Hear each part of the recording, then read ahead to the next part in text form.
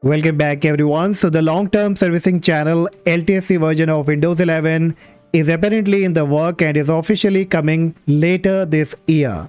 So in this video I will be showing you that how this Windows 11 look like and how light it is as compared to other custom ISO like Atlas and Tiny 11.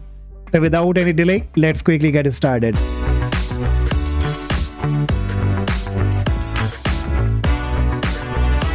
Uh, I will first start with the ISO size and Windows 11 LTSC size is around 4.3 GB that is quite low as compared to regular Windows 11. As Windows 11 ISO is around 6.3 GB and there is a difference of around 2 GB.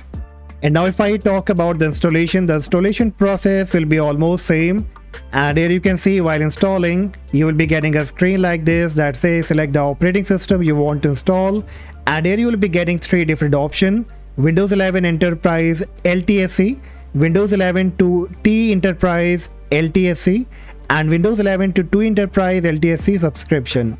So here probably we have to go with the first addition that is Windows 11 Enterprise LTSC. So I will select it, then click on next. And then we will be having the same installation process as we do on the Windows 11. Okay, so finally Windows 11 LTSC Lite has been installed and you can see this kind of wallpaper and this kind of desktop. On my desktop, I only see the recycle bin icon and in the taskbar, I don't find the file explorer option.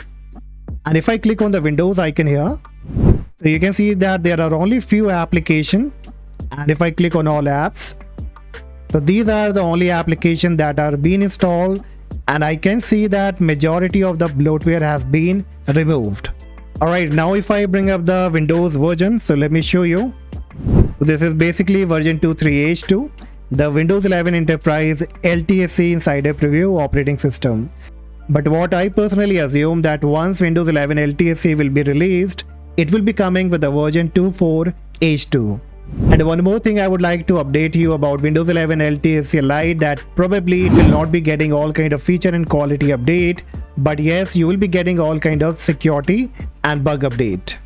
And now let's talk about the disk usage that how much disk usage it consume. right now I'm on my C drive, I have not downloaded anything. And if I make a right click on it, go to properties, it's around 18.5 gigabyte and I really don't find too much of difference because Windows 11, regular Windows 11 also occupy the similar space. So here again, I don't find too much of difference. And now if I bring up the task manager, so see what kind of usage is being occupied here. So if I go to the performance tab, now here you can see the processes count is around 128. The threads are around 1300. The handle are around 52,000. So yeah, the utilization is low as compared to Windows 11 regular ISO, but not too much as compared to the other custom ISO like Atlas and the RevOS. So this was a quick overview of Windows 11 LTSC guys and now let me give you my honest review for this ISO. I don't think this ISO will be for unsupported hardware as they have only debloated many kind of application to make it lightweighted if you want to try any kind of light Windows 11 ISO, that should be from Microsoft only. And if you have any kind of mid-level or a good configuration PC, then you can surely go with this ISO in the future once it's been released. But if you are on a, an old PC or unsupported hardware, then probably according to me, this ISO will not be suitable for you. And you should go with any kind of custom ISO like Atlas and RevOS. So that's all guys for today. Hopefully you found this video helpful. If yes, do not forget to like and subscribe. And I see you in the next video. Bye-bye.